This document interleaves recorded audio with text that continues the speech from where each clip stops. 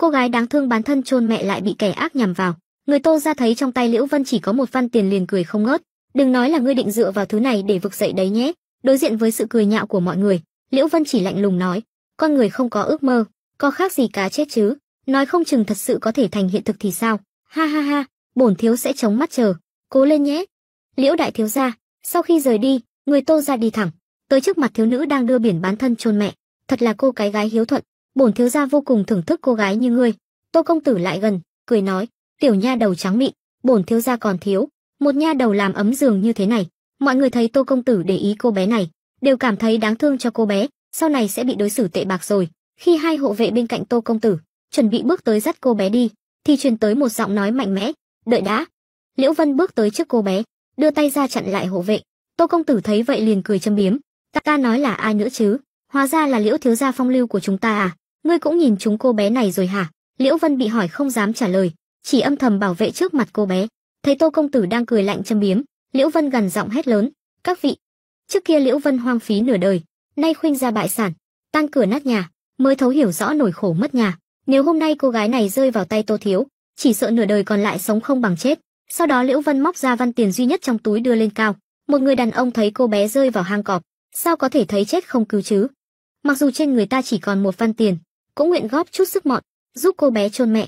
Cô bé bị sự khẳng khái chính nghĩa của Liễu Vân làm chấn động, tiếp đó là một bài phát biểu sục sôi ý chí, sau một hành động sung phong đi đầu, khiến quần chúng nhiệt huyết bừng bừng, một người dẫn đầu, toàn bộ làm theo.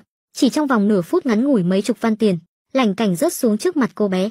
Cô bé khóc nức nở vui mừng nói: "Đa tạ đại ân của Liễu công tử, đa tạ đại ân của chư vị, chừng này đủ rồi nhỉ, mau đi an táng cho mẹ em đi, còn lại coi như là lộ phí cho em đi tìm anh trai mình."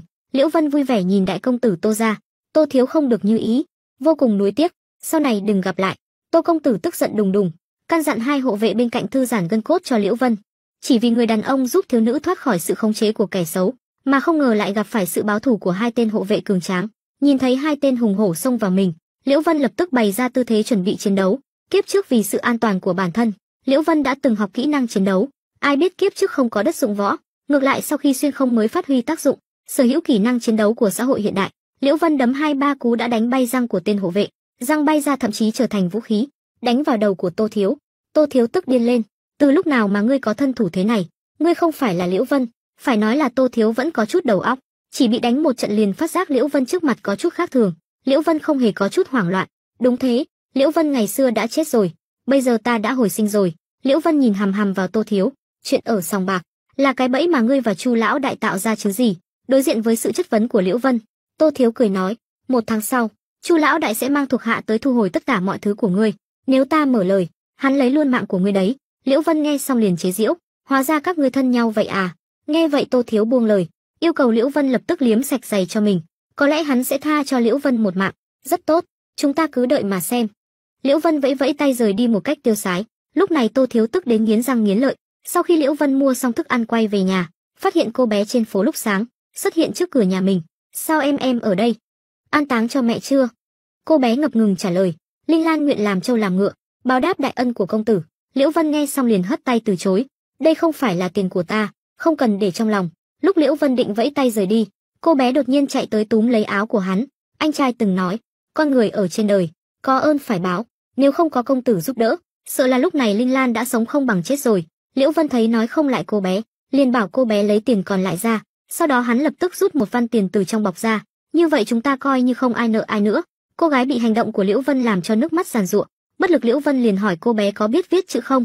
Cô bé gật gật đầu, thế này đi, vừa hay ta còn thiếu một thư ký biết đọc sách viết chữ, nếu ngươi đồng ý, thì làm nhân viên đầu tiên của ta đi. Sau một hồi giải thích minh họa sinh động, cô gái vui vẻ đồng ý, từ đó nhóm nhỏ lập nghiệp của Liễu Vân bước đầu được thành lập. Khi ma là thang của thế kỷ 21 quay về thời cổ đại, sẽ tạo nên làn sóng thế nào? Nghe lời của Liễu Vân, hai người Phi Yến lập tức đến Thạch Đình đợi. Phi Yến nhìn thấy cô bé đáng yêu thuần khiết, liền hỏi có phải Liễu Vân lừa về không? Công tử không lừa ta, người đã cứu em. Phi Yến sững sờ, trong lòng nghĩ cái tên bại gia như Liễu Vân còn có thể cứu người ư? Cô bé kể lại câu chuyện về mẹ và chuyện xảy ra trên phố cho Phi Yến nghe, không nghe thì thôi, nghe được thì thấy quá kinh khủng. Biết được thân thế bị thảm của cô bé, lúc đó Phi Yến thề rằng sẽ làm chị gái bảo vệ cho cô bé, để phòng ngừa Liễu Vân làm ra chuyện ác độc. Nghe thấy Phi Yến muốn đối phó với Liễu Vân, cô bé lập tức giải thích, công tử tốt lắm. Thực ra lúc nãy người ta muốn làm nha hoàn cho công tử để báo ơn, nhưng công tử lại từ chối. Phi Yến ngơ người, từ chối em. Vậy hắn đưa em về đây làm gì? Cô bé đột nhiên đỏ bừng mặt, lúng túng nói, công tử nói em không phải là nô tỳ của ai cả, em là một người bình thường, em có thể dựa vào lao động để kiếm tiền, làm làm thư ký cho công tử.